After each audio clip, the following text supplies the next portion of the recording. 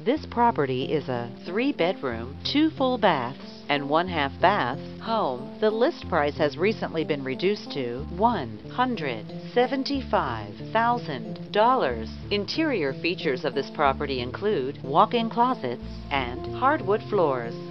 On the outside, this property features a fenced yard and a patio. This property is represented by Terry Joe Fox with Crye-Leike Realtors.